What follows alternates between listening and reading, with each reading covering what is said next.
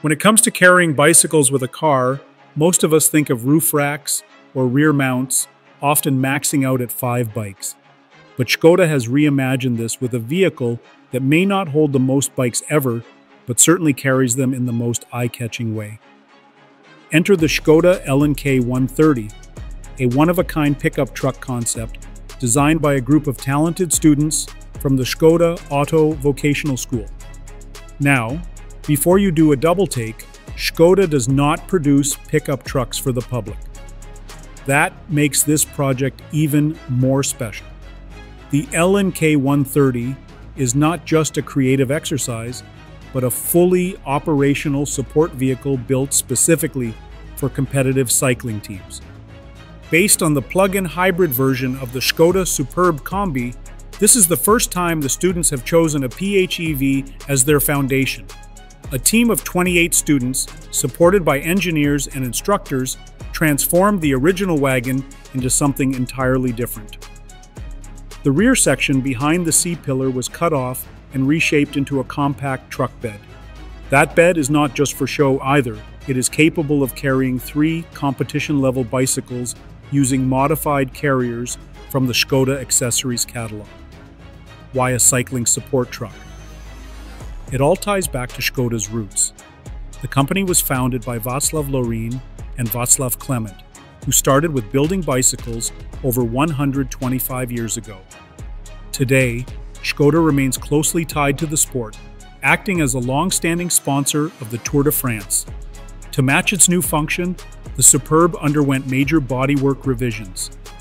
The beef arm and C pillars were re-engineered and the cargo area now features an electrically extendable section for easier bike access. Two bikes mount on racks in the bed, which tilt at a 35 degree angle for visibility and clearance. A third bike can ride on the roof using a matching carrier. One fun touch is that the rear passenger area only has a single seat. Behind it sits a partition with a window adding structure and separating it from the bed.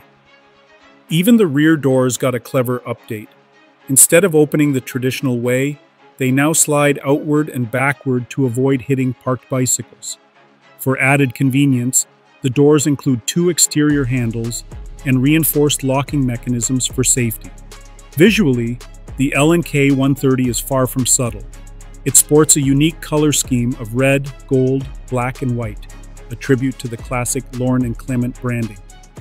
The grille even lights up with RGB LEDs to match the body color.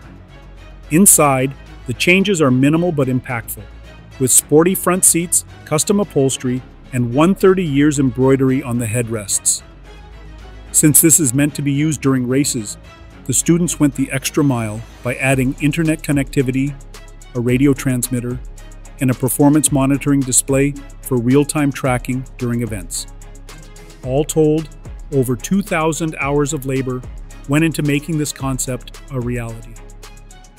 The L&K 130 will be shown to the public during the 112th Tour de France, taking place from July 5th to July 27th. The event will see 184 riders compete across France, starting in Lille Metropole and ending in Paris at the iconic Champs Elysees.